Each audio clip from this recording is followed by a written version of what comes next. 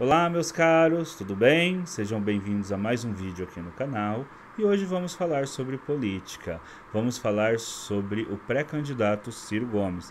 Vocês acompanharam durante essa semana, provavelmente nos noticiários, que o Ciro Gomes, então pré-candidato, decidiu suspender sua pré-candidatura.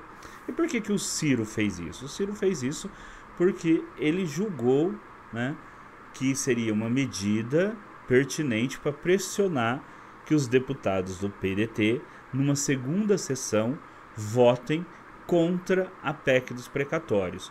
Por quê? Pois houve uma sessão essa semana da PEC dos precatórios, no qual vários deputados do PDT votaram a favor dessa PEC. E o Ciro Gomes se posiciona contra ela. E aí então o Ciro Gomes ele suspendeu a sua, a sua pré-candidatura como uma forma de pressão. Bom, é, caso Ciro Gomes viesse realmente a suspender sua, a sua candidatura futura, isso mudaria muito o, as, mudaria muito o jogo né, aí para as próximas eleições. Mas, sinceramente, não acreditamos que isso vai realmente ocorrer. Tá? É, o Ciro Gomes ele tem investido muito nessa pré-candidatura. Nós vimos aí documentários do Ciro Gomes, por exemplo, ele fez um documentário sobre o Canudos, que é, inclusive é um documentário muito interessante.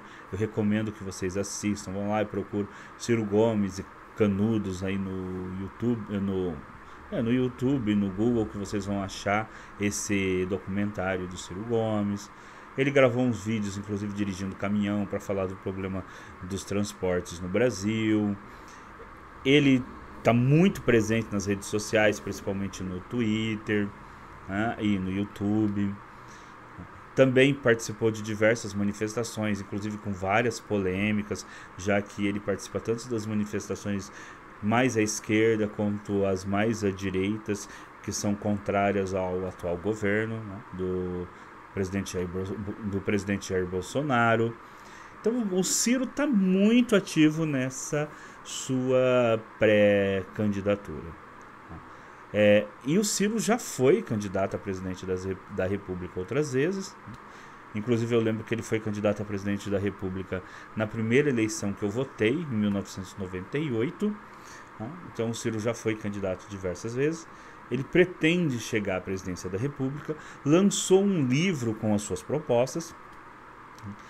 Inclusive, é um dos poucos candidatos que tem uma proposta realmente uma verdadeira proposta para o país, de uma proposta de desenvolvimento nacional, até porque o Ciro vem né, dessa, dessa área que nós chamamos de trabalhismo, foi muito forte no Brasil nos anos 50, nos anos 60, né, que vem ali a partir de Getúlio Vargas né, e chega até João Goulart, depois continua com o Brizola, mas como o Brizola após o a, após a volta do Brizola do exílio, ele não consegue retomar a sigla do PTB, que era então a sigla trabalhista no Brasil até, os, até o, o início né, do regime militar.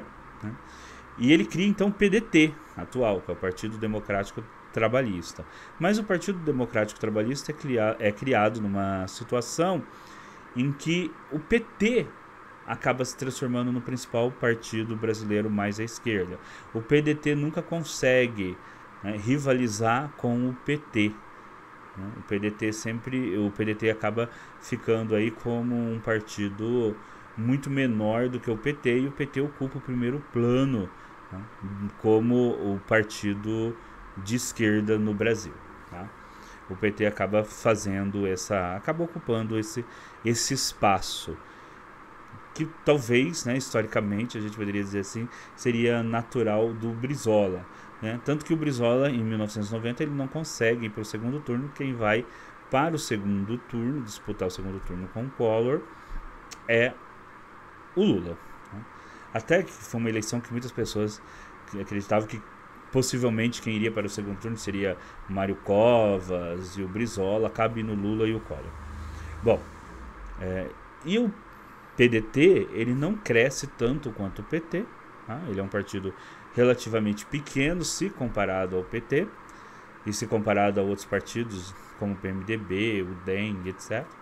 Ah, é, inclusive em 98 o Brizola vai do PDT, né, vai como vice do Lula numa eleição que o Lula não ganha. Né? O Lula vai ganhar a eleição só a eleição posterior, aonde o PDT vai fazer parte do grupo de partidos que inicialmente ali apoiam o governo Lula, né? Que apoiam o governo Lula. Bom, o Ciro Gomes, inclusive, vai ser, vai ser ministro, né? No governo Lula, vai depois vai e depois vai ter toda aí uma história com relação a Dilma, né? Vai a vai estar ali ao lado, ele mesmo fala isso da Dilma durante o impeachment. Mas hoje o Ciro Gomes tem uma postura né, mais crítica ao PT e também uma postura crítica a, ao Bolsonaro. Né? Ele tenta aí ocupar aquilo que muitos estão colocando como uma chamada terceira via, né? nem PT, nem Bolsonaro. Então o Ciro está tent, tá tentando ocupar esse espaço, né? no qual ele arregimentaria votos tanto de pessoas mais à esquerda, mas que não querem o PT de volta, quanto de pessoas mais à direita, mas que também não querem o Bolsonaro.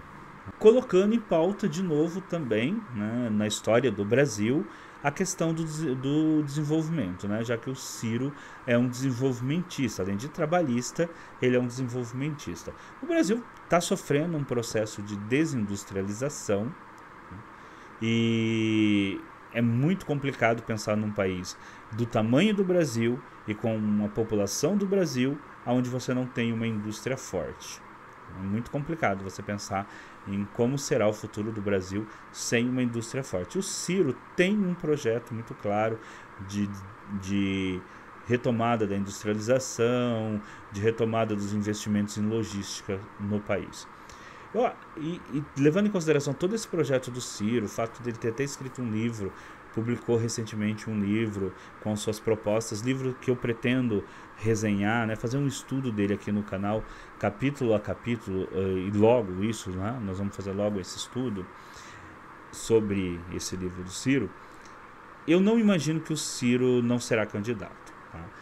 Uh, no meu entender, o que, que o Ciro está tentando fazer agora? O Ciro está tentando fazer um, pressionar os deputados do PDT para mudar os seus votos, mas mesmo que isso não ocorra, o Ciro está dando um recado para o PDT, né, para o partido, para os deputados, de que uma vez eleito presidente, né, o partido terá que caminhar solidamente né, e com uma única voz para que o Ciro consiga governar, porque será necessário um partido forte.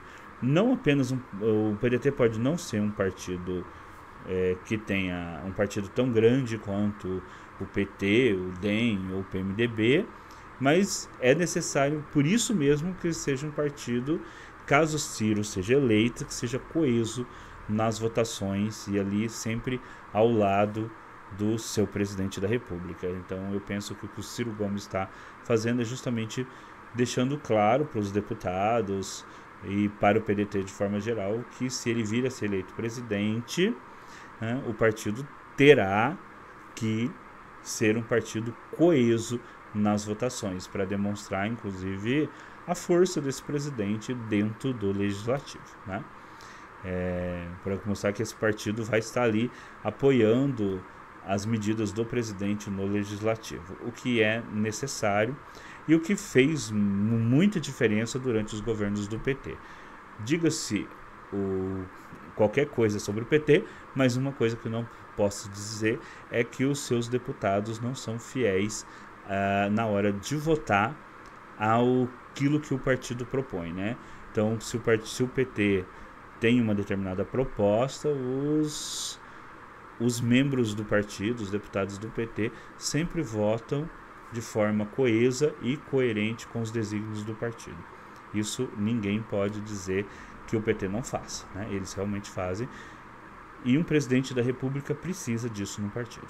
Então, creio que esse é o grande recado do Ciro, mas não acho que ele vá abandonar a sua a sua pré-candidatura. Acho que mais uma semana, duas, talvez um pouquinho mais, o Ciro retome aí com a sua pré-candidatura. Né? E é muito importante que se tenha aí no Brasil uma força de vinda do trabalhismo e né, do desenvolvimentismo. Né?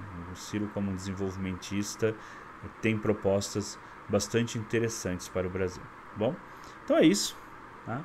É, eu gostaria de pedir a todos um like, comentários e que ajudassem na divulgação do vídeo, tá bom?